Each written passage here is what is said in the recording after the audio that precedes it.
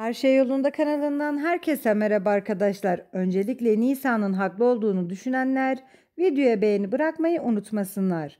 Survivor All Star'da sular durulmuyor. Survivor All Star'ın yeni bölüm fragmanında Makbule Karabudak ismi anılmaya başlandı. Survivor'ın yeni bölümü bu akşam ekranlara gelecek.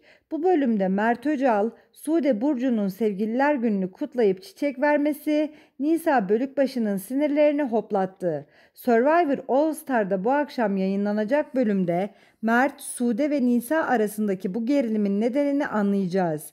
Nisa Bölükbaşı'nın neden sinirlenmiş olacağına dair belli iddiaları da haberimize işledik.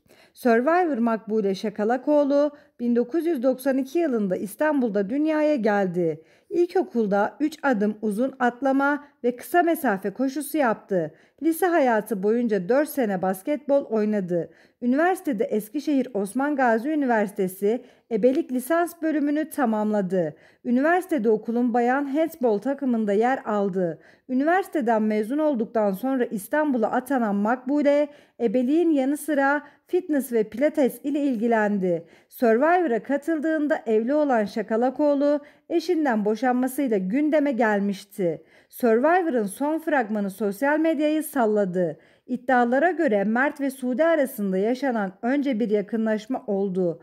Yakınlaşmanın fark edilmesinin ardından Nisa ve Ogeday uyarıda bulundu. Daha sonra Nisa Sude'ye Mert'in dışarıda bir ilişkisi olduğunu söyleyip ihaneti ortaya çıkardı. Sude'nin bu duruma nasıl cevap verdiğini Survivor All Star'ın yeni bölüm fragmanında izleyeceğiz. Bizi takip etmeyi unutmayın arkadaşlar. Hoşçakalın. Allah'a emanet